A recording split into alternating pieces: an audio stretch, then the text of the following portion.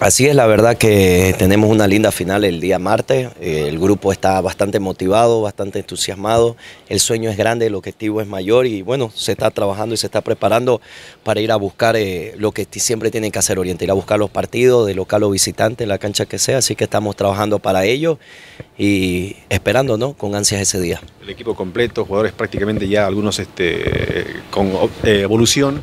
Así es, gracias a Dios ya ayer nos pasaron un informe de, un par de jugadores que estaban en su etapa final de recuperación, entonces nos da más opciones para, para ir preparando la estrategia para el partido, ¿no? porque Oriente no va, no va a cambiar de, idea de juego, solamente va a variar el tema de la estrategia dependiendo del rival y la cancha donde estemos.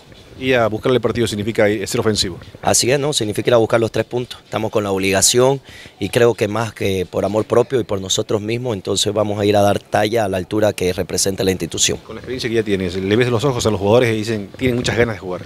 No, están, están motivados, ¿no? Como, como mencioné anteriormente, creo que más que un punto en la paz es una inyección anímica que este grupo necesitaba para sacarse un poco la mochila de, la presión y la carga y el estrés. Entonces se ha visto reflejada en los entrenamientos y, y esperamos terminar así los, los días correspondientes previo al partido.